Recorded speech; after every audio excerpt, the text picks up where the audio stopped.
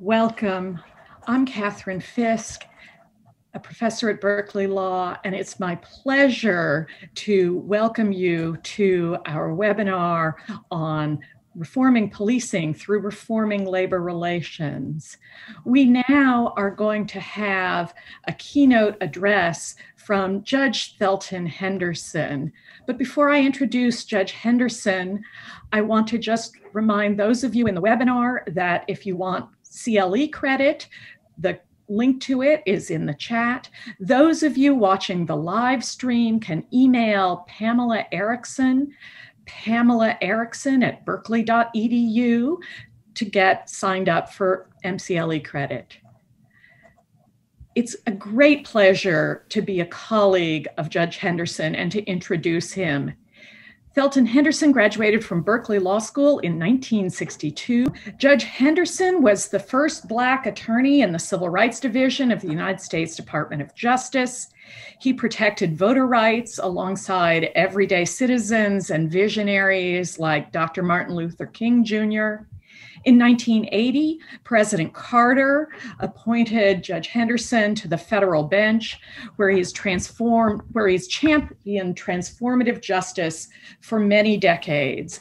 During his career on the federal bench, he was involved in civil rights enforcement against the Oakland Police Department. He has tremendous experience in this area. Since retiring from the bench, he has been a distinguished visitor at Berkeley Law School. Judge Henderson. Good afternoon, and, and thank you for that introduction, Catherine. I'm honored to be giving this keynote address today and uh, to be a part of this uh, very distinguished group of scholars, experts, practitioners, and on the ground arbitrators that have put together this great program. It's my hope that by sharing with you some of my judicial experiences and my observations, it will be helpful and maybe even a bit interesting, who knows, as today we take a fresh look at police unions and police bargaining and labor relations law in general. And we explore whether their present structure contributes to the many problems and concerns we have about police misconduct, accountability, and transparency. I'm giving this keynote address from the perspective of one who, over the course of 37 years as a federal district court judge, has handled a number of rather high profile cases in which police officers, police departments, and city governments have been sued for various acts of police misconduct. My plan for today is to review one case in particular.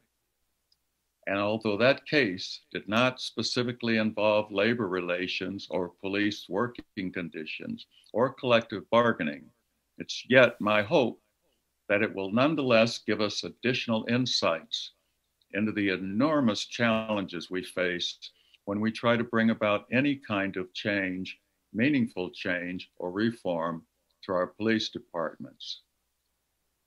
Now, in the year 2000, I was assigned the case of Delphine Ray versus City of Oakland. It was a case which profoundly changed the way that I came to see, to view police departments, the way they operate, the way in which they relate to the governmental entities for whom they work, and the way they treat, relate to the people in the communities in which they serve.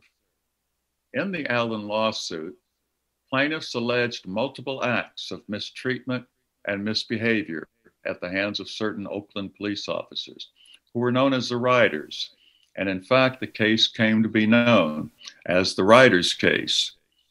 The 119 class members in the suit variously alleged that they had been kidnapped, that evidence had been planted either on their person or in their homes, or both, that their front doors had been kicked in and their homes and persons searched without benefit of a search warrant or even a warning knock on the door and that they had been beaten by the police, despite the fact that they had posed no threat of any kind to the arresting officers.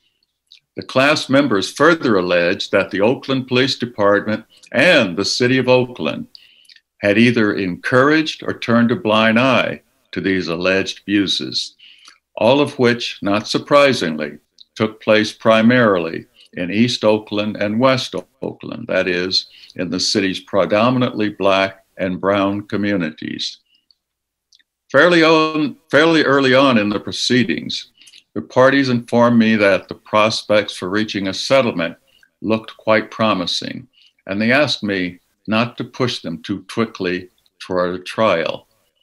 I readily agreed to this and essentially took a hands off approach to the case as they assiduously began settlement negotiations in this most difficult and highly controversial case. Eventually, after months of discussions and negotiations and numerous case management conferences in open court and several urgent requests for seeking guidance from the court, the parties no negotiated the largest legal settlement in Oakland municipal history. And on March 20, March 14th, 2003, the court approved the negotiated settlement agreement, or NSA, that had been reached. In addition to calling for the city to pay $10.9 million to the class members, the NSA included a list of 31 reforms to be made by the department. The reforms ranged from the upgrading of the department's outdated technology and equipment to requiring each officer to wear a cam recorder while on duty, to improving their training program for both incoming and old officers. It was also agreed that they would change their practices regarding racial profiling and adopt new policies and practices regarding use of force. Now, at this point, it's very important for us to note that not a single one of these 31 reforms was new or untested or even innovative for that matter. Indeed, the reforms were essentially a list of best practices that were being implemented throughout the country by virtually all of the larger and more modern police departments. I'll apologize in advance because you're going to hear me reiterate this point because it's central to one of the main points I hope to make. As soon as the NSA was signed, an independent monitoring team was put in place to ensure that the police fully understood what they were to do and to provide appropriate training and guidance whenever it's needed, as well as to ensure that the department was in fact complying with the NSA in a timely and in a sustainable manner. Now, before I go on, I think I'd like to just take a quick aside and note that it was such a delight this morning, earlier today, and just recently, for me to listen to our first panel, which included Professor Christy Lopez, who was a key member of that first monitoring team on the Riders case and who did a superb job of monitoring in that case. And I remain indebted to you and that team, Christy. You got us off to as good a start as we could have. Continuing with my uh, comments, over the 21 year history, year history of the Riders case, the Oakland Police Department has had 11 chiefs or roughly a new chief every two years.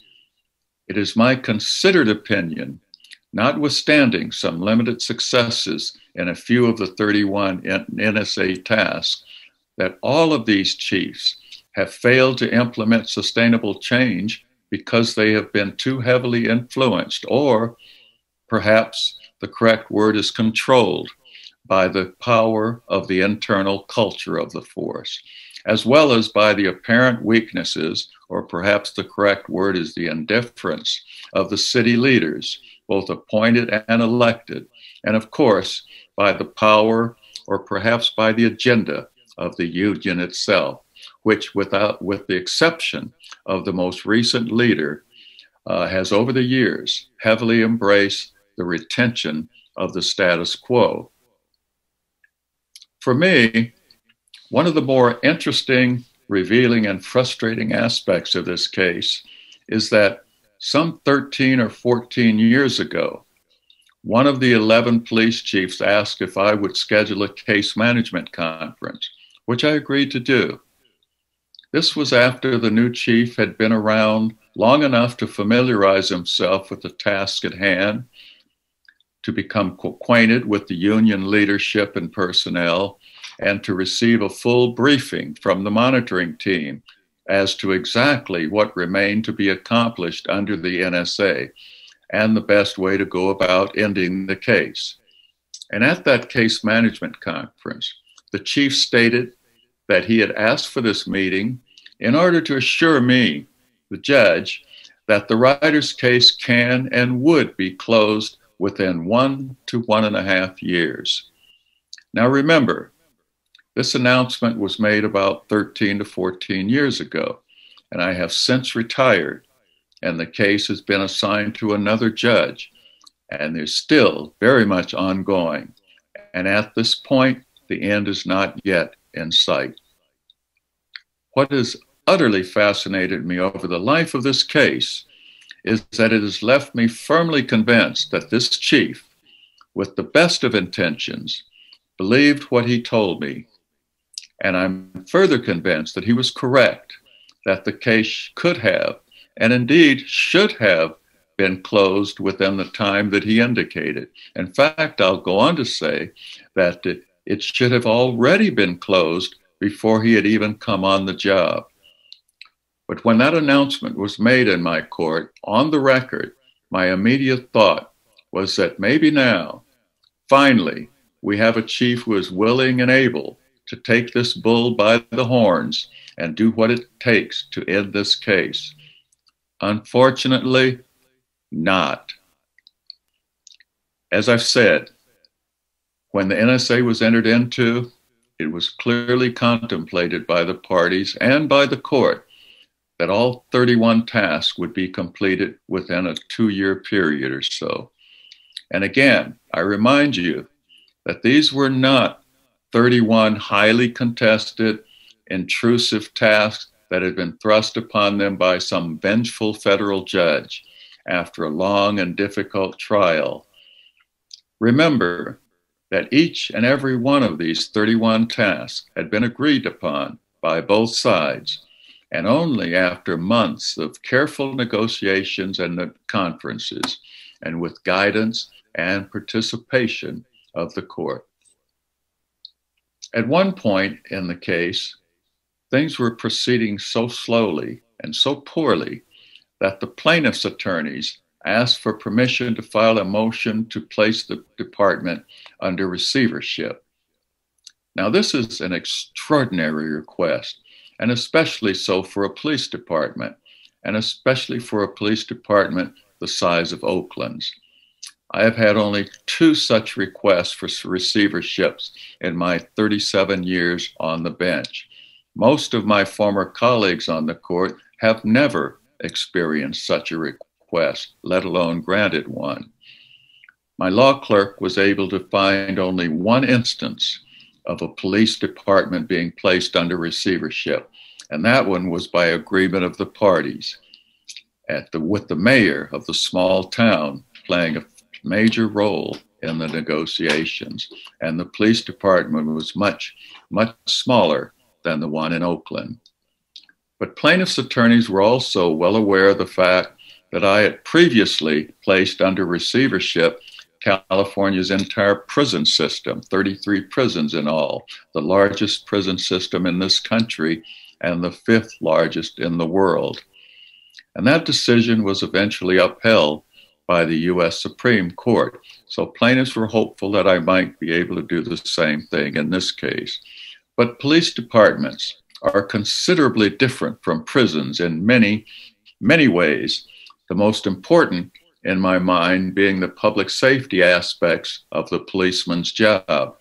And the second most important being the simple fact that prisoners are not unionized.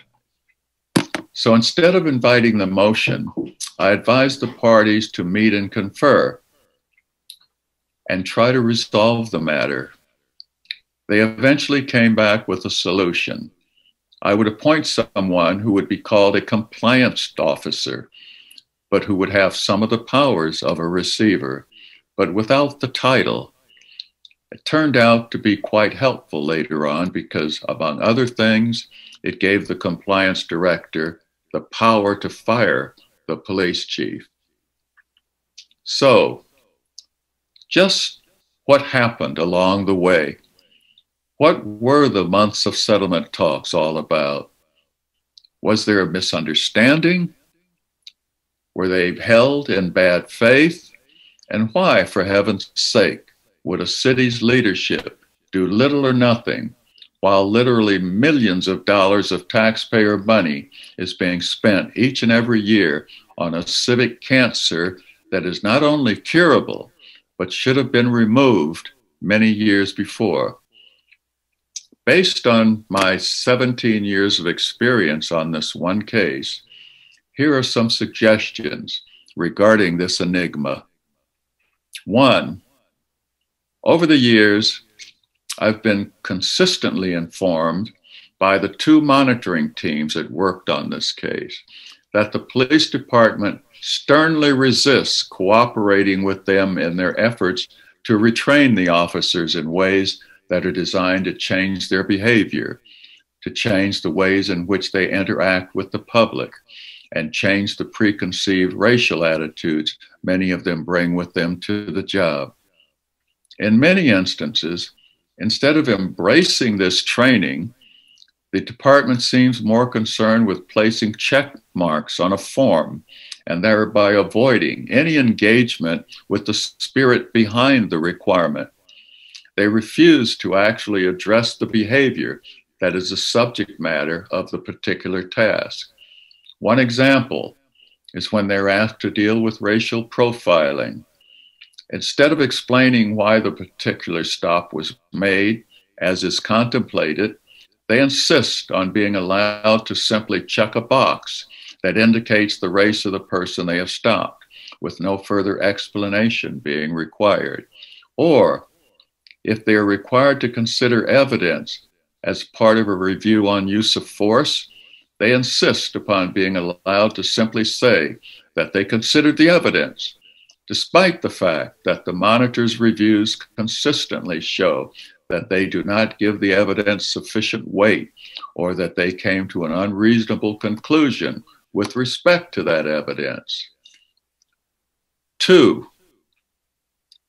when one of the 11 chiefs that I previously mentioned came aboard, one of the first things he decided to do was to have a mass meeting with the entire police force.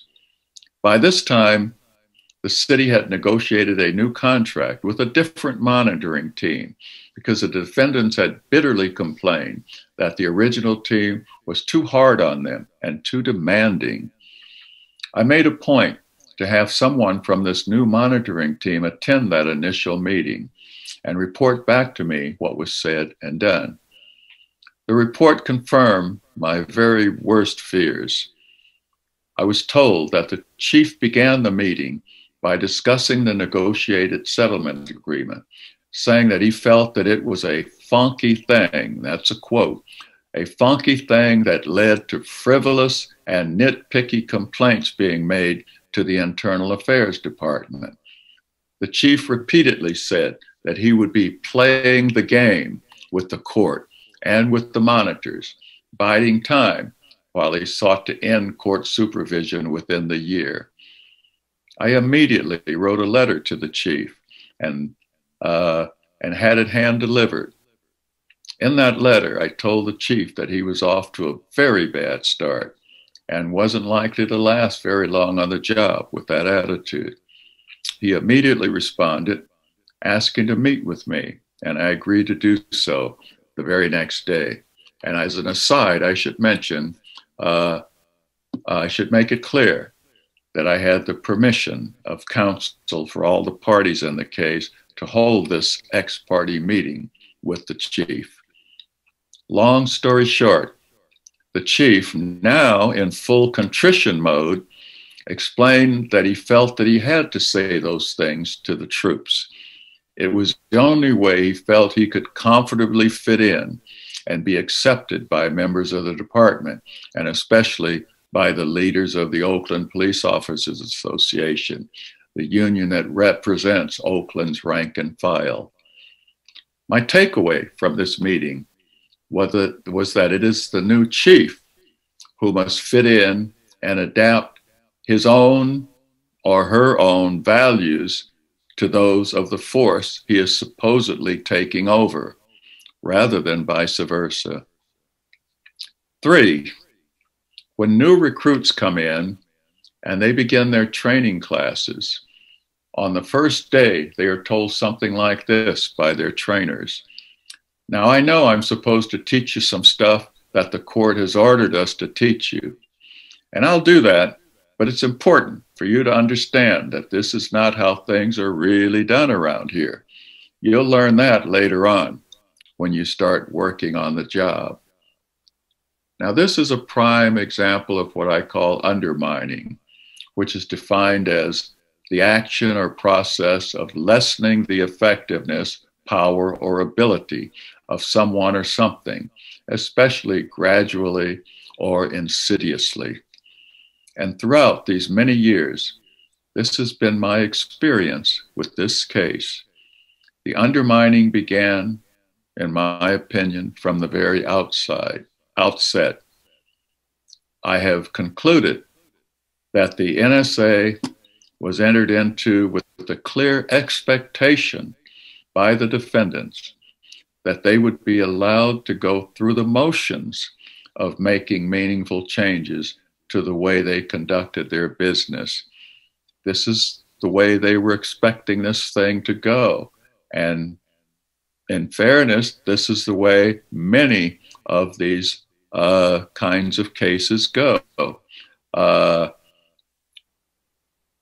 they that they would, as the it was their expectation that, as the chief said, play that funky game with the court and after a couple of years of half hearted and token efforts, checking boxes rather than changing behavior, the monitors would finally say, Well, I guess that's good enough. The court would routinely sign off on it and the case would be closed. At which point, they would expect to resume business as usual. No meaningful changes made, no lessons learned. Four, the police department seems, by my observation, to have been allowed to flourish almost autonomously.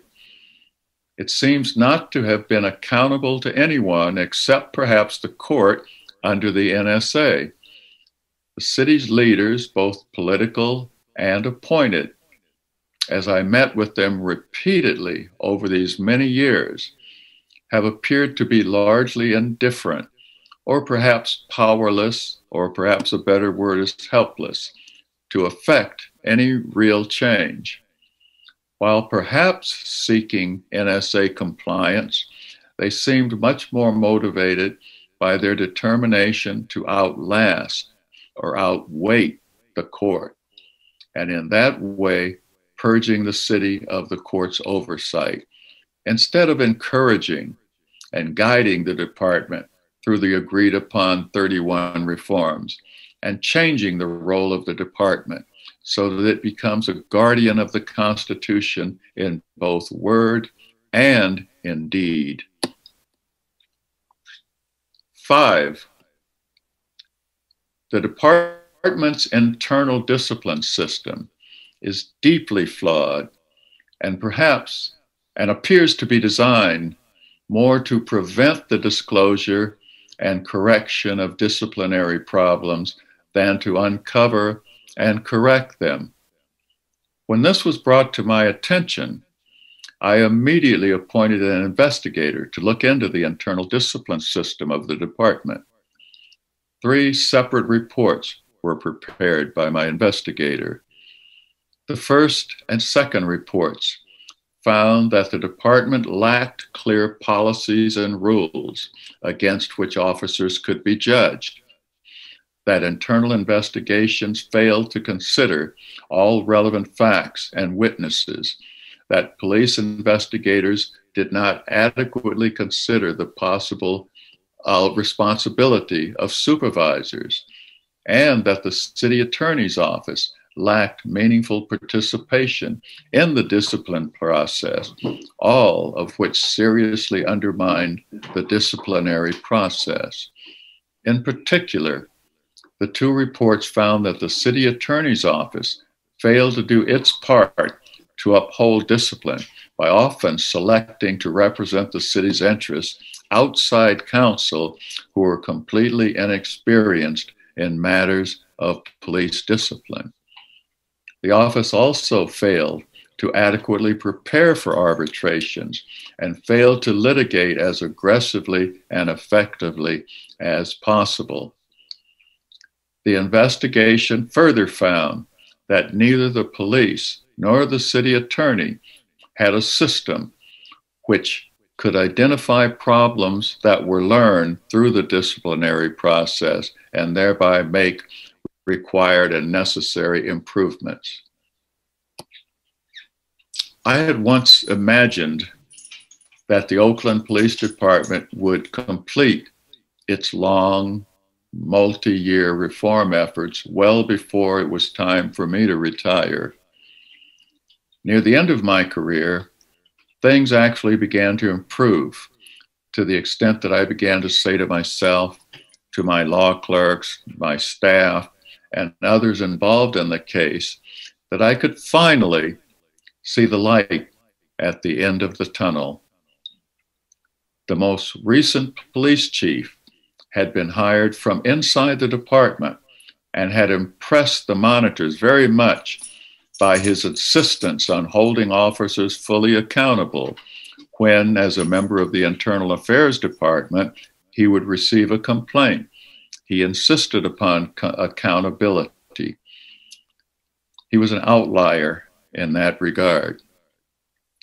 He looked like just the independent minded chief we had been looking for, and things began to improve.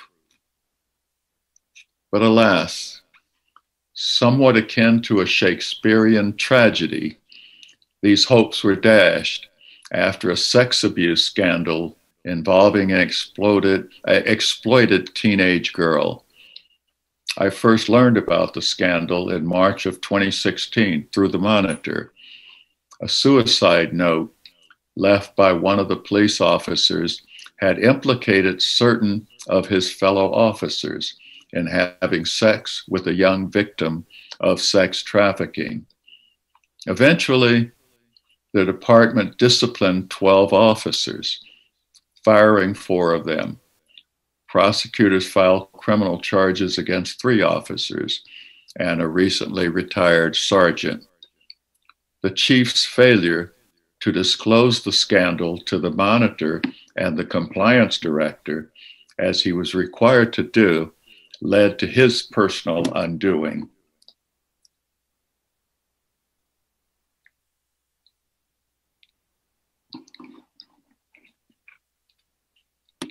In the third report filed by the investigator, it was found that without the court's intervention, likely no officers would have been held accountable in this scandal.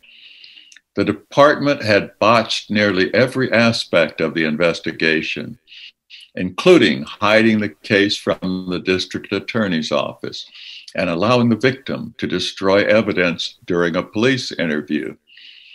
The report further found that the department's criminal and administrative investigations throughout the entire incident were uh, completely inadequate.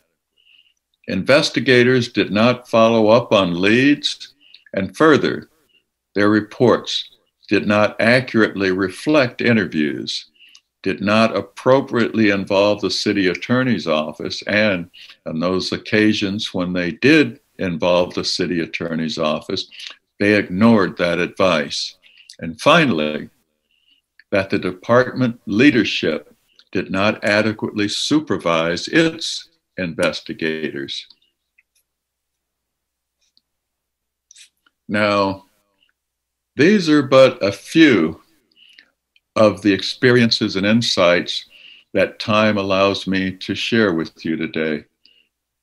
For me, it is crystal clear that the balance of power that should normally be an inherent part of the bargaining relationship itself is just not present when it comes to collective bargaining for police.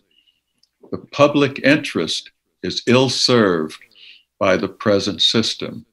And in fact, the public interest seems to be little more than an afterthought. The bargaining system should, of course, serve the legitimate interests of the police, but as well should serve the interests of the public for whom they work. The many years that I and teams of talented, experienced monitors have tried to train, coax, push, cajole the Oakland Police Department to comply with their own agreement have convinced me that the OPD, the Oakland Police Department, as is the case with many other police departments around the country, simply does not want to change the way it does business. The present system is working perfectly well for them, even as it works against the interests of the public. They especially do not want to be told how to do their admittedly dangerous job by a federal judge who knows little or nothing about the day to day hazards and complexities that police officers face. As, as an historical matter, our police have been guardians of the peace, guardians of our communities, who patrolled our streets to keep them safe and who knew the members of their communities. But beginning with the so called war on crime in the 1960s, it seems that they have evolved into something more akin to soldiers or an occupying force with battle armor and with tanks and assault weapons, ready to do battle with the communities they have vowed to protect and serve. And with the political clout that they have incrementally amassed over the years through the union bargaining process, it will take significant changes to make a difference given the deeply embedded, deeply divided society that we presently live in. And until we start this process, such as we are discussing here today, I have no doubt that many will continue to treat court orders and NSAs like funky things that do no more than lead to nitpicky and frivolous complaints being made to the Internal Affairs Department. And they will continue playing the game of compliance, playing it with the court, with those who govern the cities that they work for, and with the citizenry whom they have sworn to protect and serve. Now, when I began preparing this keynote address, it was my intent to share with you only my long and frustrating experience in the Riders case. That was my initial intent. But for someone tasked with preparing a keynote address for an upcoming webinar on police reform, I could not have had a more fortuitous phone call than the one I received on the morning of last December 26th, the day after Christmas. The call came at about 11:30 a.m. as I was in the midst of my second cup of morning tea. Sorry to bother you like this, Thelton, but the 17 year old son of some friends of ours was killed last night by two Antioch police officers. It's absolutely heartbreaking because I've known this young man since he was two years old. He was not resisting, he wasn't being violent. And in fact, his mother was holding him in her arms when the police arrived.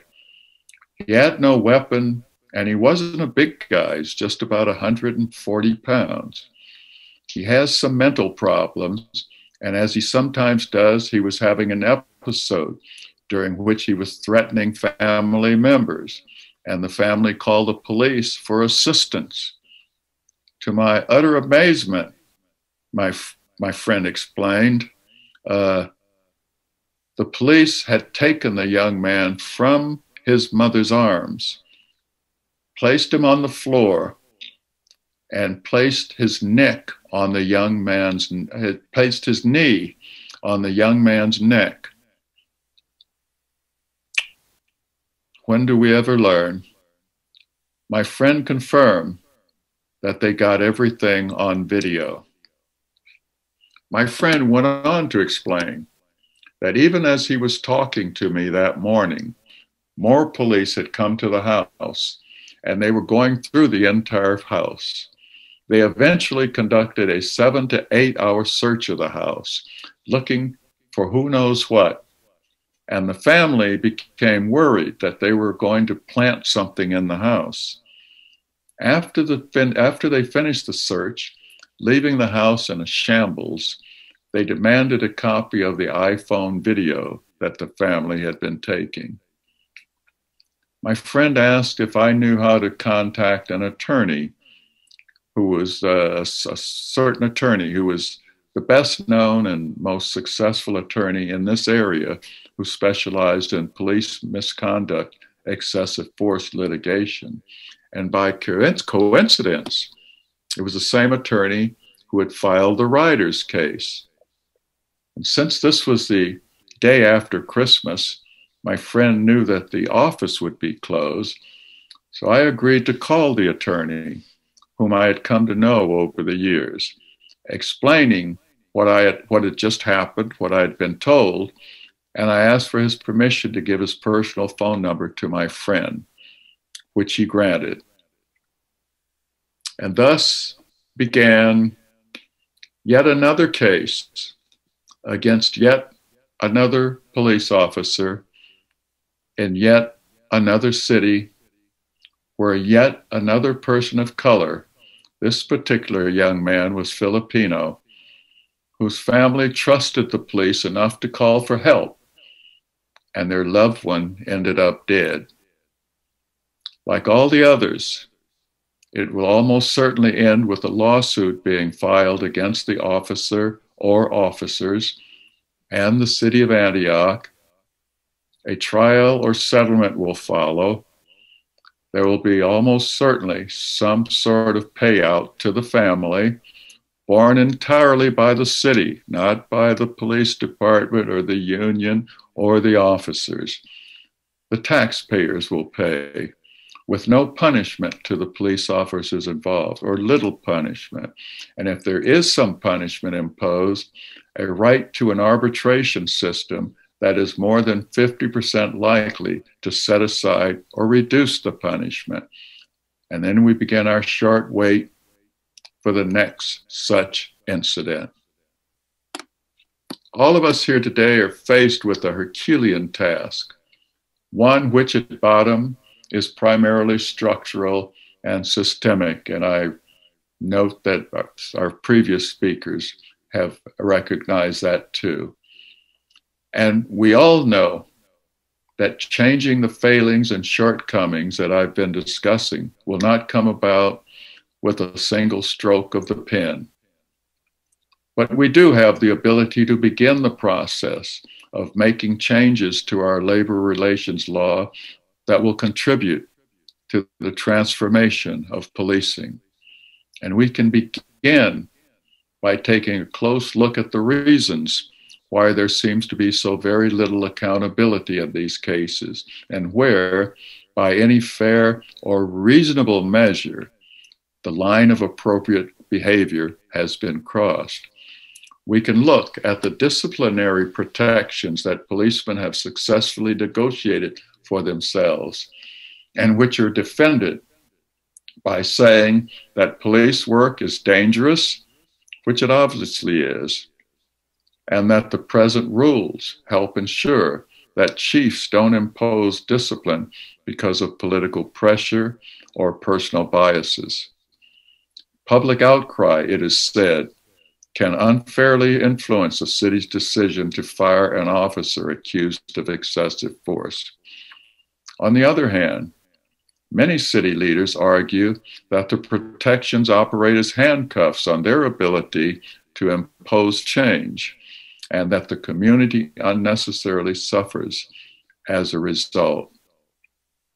I am strongly convinced that changing the present labor relation structure of policing in the ways that will be discussed by today's speaker and was discussed this morning in the first panel will go a long way towards reducing and controlling police violence and misconduct, lack of accountability, and lack of transparency. We know something is wrong when a new chief comes in and not only is unable to effect change that he or she envisions, but is compelled to march to the beat of the union and police force he or she should be leading. We know something is wrong when a city and police department enter into a negotiated settlement agreement and over the course of 20 years and with near impunity refuses to do that to which is it agreed at a cost of millions and millions of taxpayer dollars. We know something is wrong when one side in the bargaining process eventually amasses such an imbalance of power that it seems to operate as an autonomous unit, almost independent of its employer. As Harvard Law School professor Benjamin Sachs has stated, when unions use the power of collective bargaining for ends that we, as a democratic society, deem unacceptable, it becomes our responsibility, including the responsibility of the labor movement itself, to deny unions the ability to use collective bargaining for these purposes. And I fully agree with Professor Sachs. As I said, we are faced with a Herculean task, and so was Thurgood Marshall when he set out to challenge the deeply embedded Jim Crow and segregation laws in our southern states. By some measures, he started in 1947 and he ended seven years later in 1954 with Brown versus Board of Education, a case which changed the law of the land with respect to segregation in our public schools. Changing our views on what things can be the subject of collective bargaining and finding acceptable ways to take into account the impact of these agreements upon the public, which is, after all, the ultimate consumer of these services, is of the utmost importance. As the governor of Massachusetts recently said in announcing that he had just signed new legislation creating a police accountability and oversight system for the state of Massachusetts. And I quote Police officers have enormously difficult jobs, and we are grateful that they put their lives on the line every time they go to work. Thanks to final negotiations on this bill, police officers will have a system they can trust and our communities will be safer for it. It will take time, but now is the time to begin the process.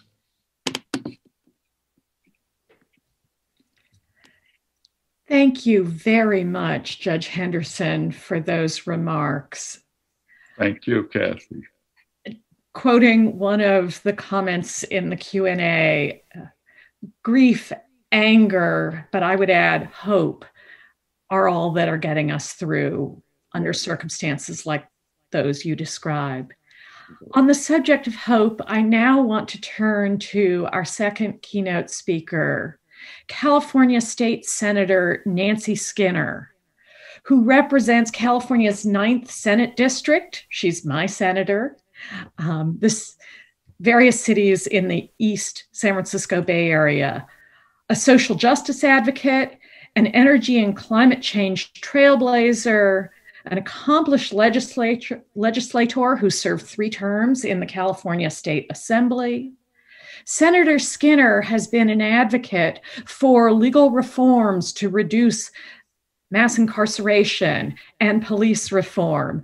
And she's graciously agreed to speak with us today about some of the initiatives that she and the California legislature are working on to address the terrible problems that Judge Henderson identified. Senator Skinner, thank you so much. You're welcome. And uh, Judge Henderson, thank you for your good remarks. And I would have loved to have listened to all of them, but the uh, the legislature requires a two-hour sexual harassment training, and uh, I was um, I had to be involved in that, and I could not depart it to listen to all of your remarks.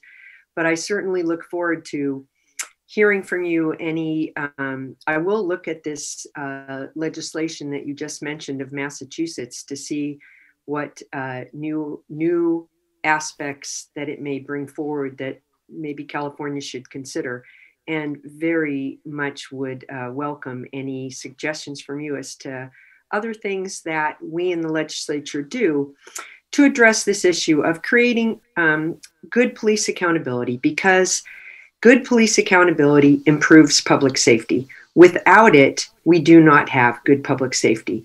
We need to have trust the the communities that our law enforcement officials serve need to trust those law enforcement officials or those law enforcement officials cannot do their jobs adequately.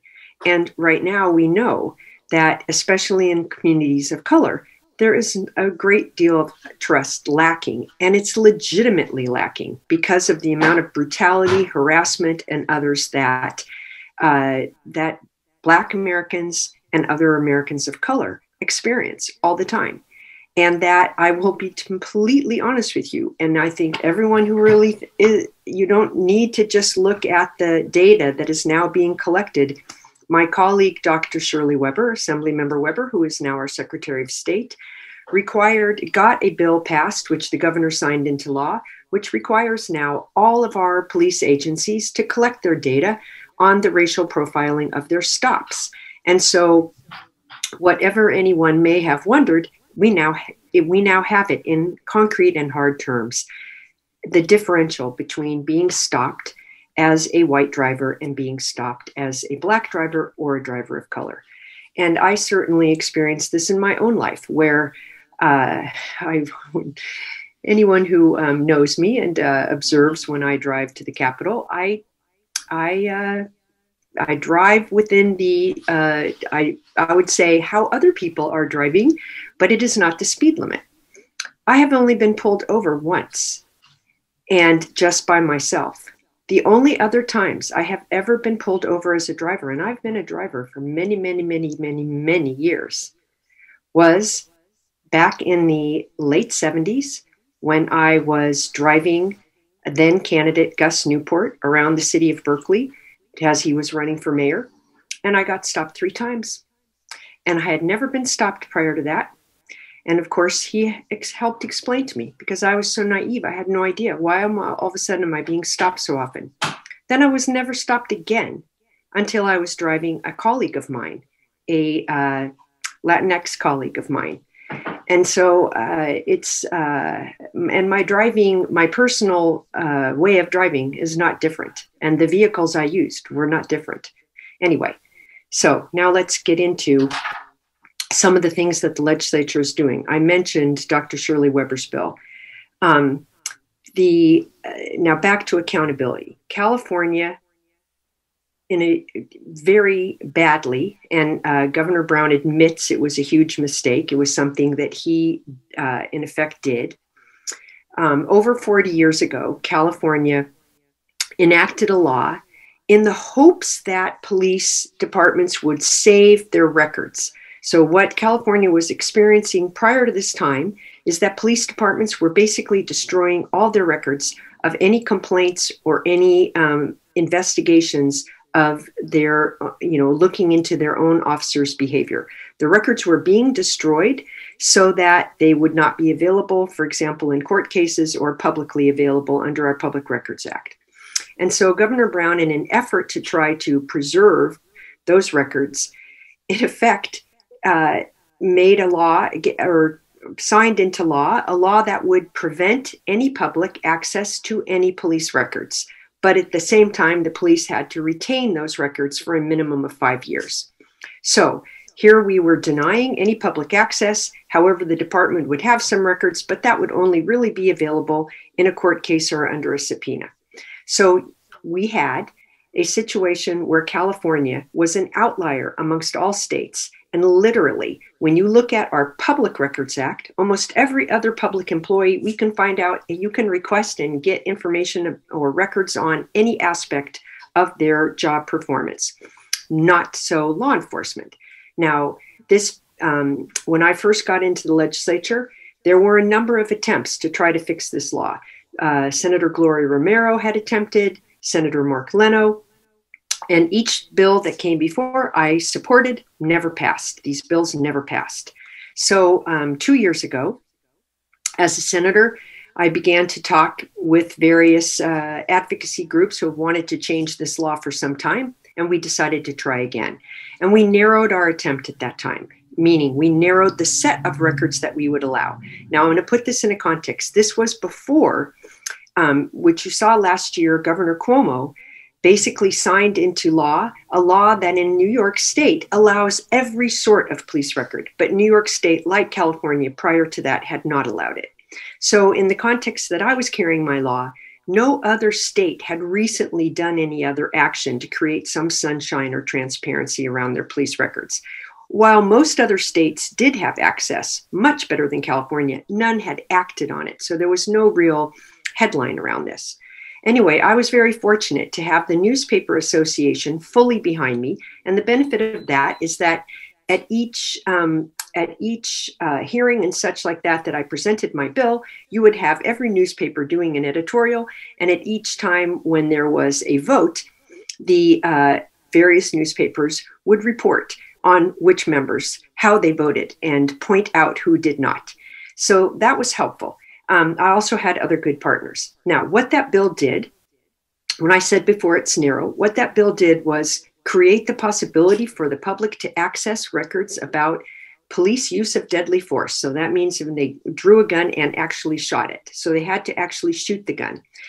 Um, secondarily, uh, police um, dishonesty, but in a narrow way, that dishonesty which involved um, interfering with the witness or tampering with evidence.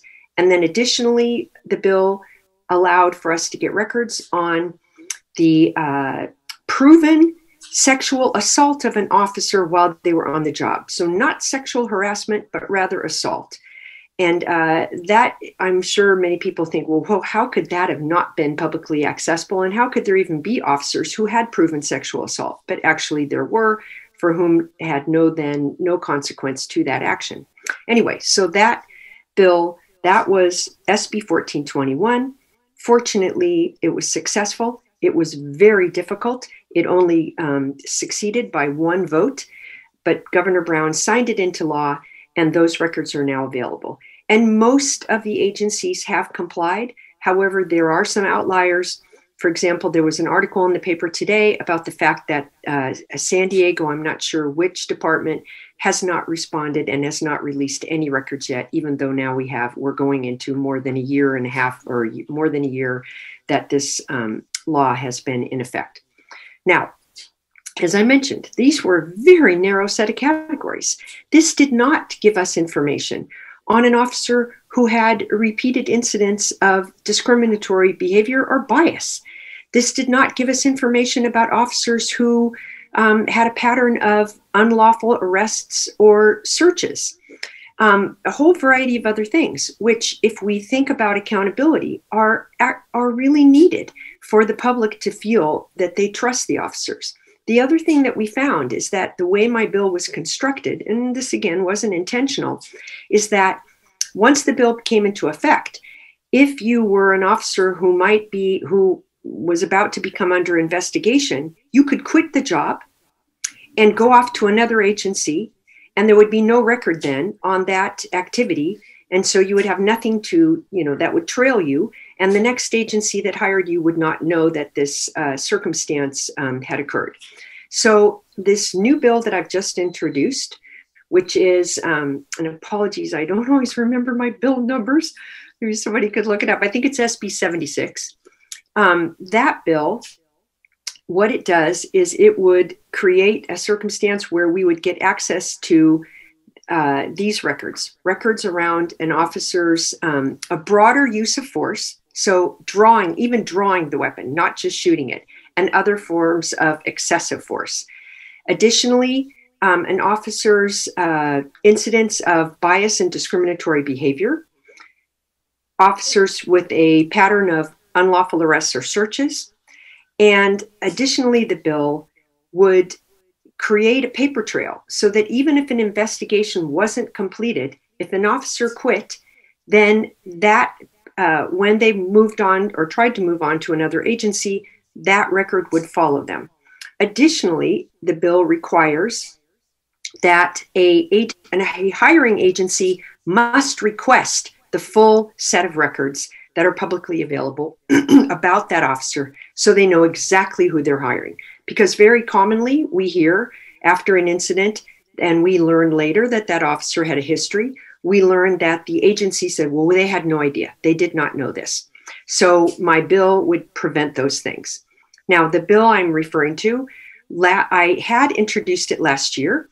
It was successful on the assembly floor. I got 53 or 54 votes, so it was doing great. Um, however, there was just some hangups on the last day of session, and it didn't get to my house, the Senate, on time, so it never got to the governor's desk. So it is the identical bill, so I'm pretty confident that it will pass, and it will be a great advance in terms of our ability to get some accountability and some transparency around police activity. Now, is this enough to create the type of accountability that I think all of us would want? No, but it is a step. Now, let me tell you about a couple of the other bills that are right now um, coming forward in the legislature. My colleague, Senator Bradford, has a bill that would allow California to decertify an officer that has already been uh, has done certain types of misconduct. And there are many, many other states where once you have once you are an officer who have who has engaged in certain types of misconduct, you can be decertified. California again is an outlier here where we do not allow that and Senator Bradford is put that forward. Interestingly, my police records bill, which in the past the police officers unions always opposed, they are neutral on it at the moment. The bill they want to kill is Senator Bradford, so they are very opposed to his. Now we have uh, another bill, and I don't know who the author is right now, that would require uh, our law enforcement officers to have a minimum of two years of higher education, meaning community college or other type of certi- certification program, they could not just be a high school graduate. And because right now most of our agencies only require GED. Then my colleague, Assembly Member Ash Kalra, has a bill that would require um, agencies to look at the background of officers so that if there is the evidence that an officer is engaged in uh, an active participant in these uh, extreme these extremist far right extremist movements, as we saw in the uh, insurrection at the Capitol, where we learned later that a number of the participants who were active in either QAnon or the thing called Three or these various other um, Proud Boys, that some of them were actual uh, law enforcement officials who are in active, not active duty in the insurrection, but ha- are are hired by forces right now so um, my colleague, um, Assemblymember Kalra, has a bill in that subject area. So those are some of the legislative initiatives that will come before the legislature this year. But I think I'll stop at this moment and allow for some questions because I'm sure you all have some, and I'm sure you will have. Uh, rather than my continuing to to assume what you might want to know, your questions will allow me to answer and give you information. Oh, thank you uh, for my bill number SB 16. My, yeah, 776 was what it was last year. Thank you so much. I, yes, I have a lot of bill numbers, and so I remember their content, less their numbers. Thank you so much, Senator Skinner. Um, this is very interesting. Um, one of the questions in the q&a is given the change in the political environment why not simply eliminate pc 832.7 penal code i think 832.7 and make all police disciplinary records public as they are in many other states. It's a good question and part of it is what is out it's um it's always the back and forth when you're a legislator as to uh, what are the conditions, the political conditions that can give possibility of success. Now, that does not mean that I only carry bills that I know are going to pass. For example, I authored the um, uh, the bill that eliminated or re- changed the concept of felony murder under the law oh, there was no guarantee whatsoever that that bill would pass. There are many bills that I've carried that are what I might call high risk, uh, high bar. Um, the issue around the police records is that, and I think Judge Henderson described, our police unions in this state are very, very organized and very active. And the other interesting thing is, um, my Senate caucus, we we periodically have um, different entities that do polls present to us. And we just saw a recent poll of Californians. This was done um, in uh, early January after the insurrection, interestingly. And Californians very, very highly rated that they were in support of Black Lives Matter. But they were in almost equal level of support, or actually, I think it might have been higher, of police officers. So there's a I don't want to call it a disconnect. I'm more call it that that uh, as much as the public wants accountability and reform, they also respect their officers and they do not like the defund the police. That as a concept pulled very very badly, whereas use um, use officers use nine one one dispatch uh, send social service people to mental health calls versus officers you know use officers only for crime calls not for you know social welfare type of calls. High high high polling. But which of course means diverting resources but if you ask it as defund police bad. So it's it's that um, the the we te- i shouldn't say we tested but we we have neutrality by the police unions right now for this more records. So it is an advance, it isn't everything, but it opens the door again, if we're successful with this, to do more. And I know that may not be a completely satisfactory answer, but it is the, the types of things we juggle when we try to construct legislation. Thank you. Well, while I wait to see if people attending the webinar have more questions in the last 10 minutes where we have your time, I wonder if you um, would care to comment on what you think of either the wisdom or the political prospects of some of the proposals that Judge Henderson and others including me, have made, such as, for example, greater mandating by law, greater public access to police negotiations before, for example, a contract is made available for negotiation. Um, state mandate transparency of all contract proposals, mm-hmm. um, as well as greater transparency of records of disciplinary actions, whether it's civil service appeals or um, arbitrations under a collective bargaining agreement. Right. All right. So right, um, right before I give an answer to all the points that you made, I see in the Q&A, the, the notion of supporting transparency is not opposing police officers. I agree. Here's the here's where the rub. So if we say if we say uh, all disciplinary, it's not just disciplinary records. It's because many uh, You can open a disciplinary because there was a complaint, and then you find that it wasn't substantiated.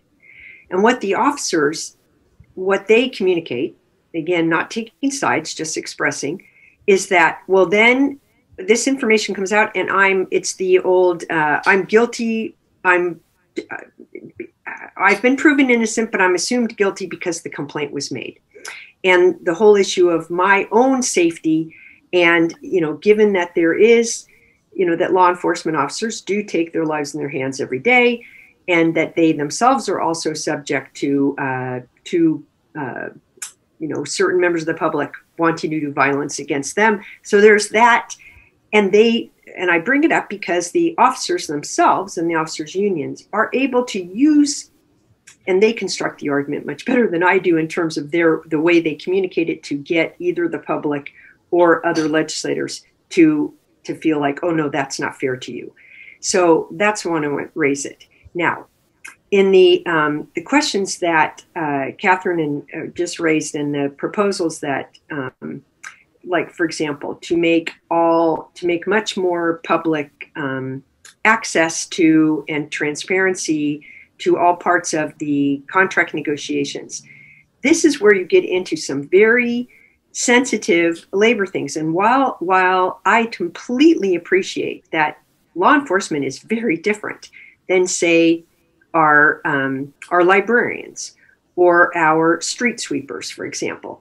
However, labor as a whole would would this is one of these things where there would be the argument that if you were going to do it to one category of workers, you'd have to do it to all. And if there was not support to do it to all, then they would band, band together. So, and I will just give you the example of my first records bill. In the previous attempts, Senator Leno, Senator Romero's, all of labor, not just the police unions, but all of labor opposed those bills.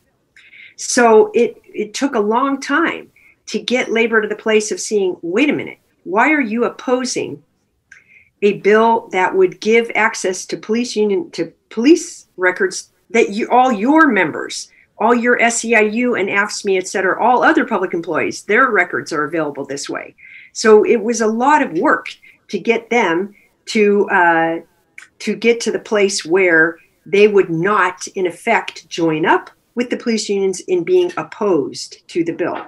So there, it's a it's partly a, an issue of just how labor as a whole deals with it, and um, uh, uh, and then the officer's own sort of example of that that's why they are a union to give themselves the ability to uh, you know collectively bargain and if we look at other um, collective bar circumstances that sort of information is not made public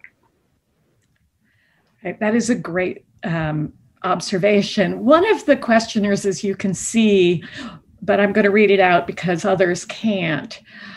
Uh, asks a question aimed at uh, sort of creating countervailing power, I would say. Lots of people think of police unions as being disproportionately powerful in the legislative process because of their force as lobbyists. And the question asks whether or how you involve community groups um, in developing or supporting legislation, people who are impacted by police brutality and incarceration, and so how you think about trying to balance the power that police unions have. Right. Well, there certainly I carry some bills that my staff and I are the originators of, but many of my bills are brought to me by the very parties that are being described, such as ACLU or the Ella Baker Center, or All of Us or, and None, or um, the Oscar Grant Foundation, for example, or um, multiple other organizations up and down the state that are uh, Boys and Men of Color, Policy Link, so, all of the entities I just mentioned are very strong partners with myself and my office on many of the bills that we have done, including the last police records bill and the current police records bill. Um, now, I see various things about times have changed. And yes, times have changed, which is why my first police records bill got through. And it's why the second one will get through. And why hopefully we'll even be able to get Mr. Bradford's decertifying of officers. However, let's look at there's two factors here. One, every union that is large, every large every large public employee union in this state has great political clout because of the campaign donations that they give and other reasons. Um, so, in that respect, the police are not that much different. Now, but we add to that where the public still has a great sympathy towards police. As much as there is great awareness of Black Lives Matter and support, the as I mentioned in these polls, there's a there many many people can hold both thoughts or i don't mean hold both thoughts. I'm not trying to describe it as it but just are like absolutely black lives matter absolutely stop police brutality. However i love my officers don't do anything to hurt my officers. So this is a, one of these competing things that then the police know how to utilize and not just the police but you know who whatever entity that doesn't want legislation that they don't love they use these types of sentiments to their advantage. Now, all important reform bills, whether it's for consumer protection, privacy, police accountability, or any number of things that have a very difficult time getting through the legislature, would be greatly, greatly aided if we had public money and we did not have to rely on campaign donations. Greatly aided. And so I think there are many people have talked about this. One of the most important reforms to get a whole host of reforms that all of us would want is to is to eliminate uh, this kind of private spending in campaigns and use public money. Though with the various Supreme Court rulings, that's hard, but it is a very important thing to look at.